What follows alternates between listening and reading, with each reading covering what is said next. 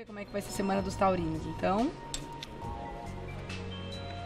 Carta dos peixes, e aí a gente tem uma semana de prosperidade, de alegria, de tranquilidade ah, e de ganhos materiais. Essa é uma carta que fala de felicidade, é uma carta que também mostra milagres, ao mesmo tempo que também fala para você, Taurino, prestar bastante atenção nas questões materiais da vida. Ah. Ou se você estiver preocupado nesse aspecto, vai ser uma semana para receber milagres, para receber novas conquistas. tá bom. Tá bom? Ótimo. Mas no geral, uma carta fantástica, de bom presságio e de boas perspectivas também. E boa Tá? semana pro taurino.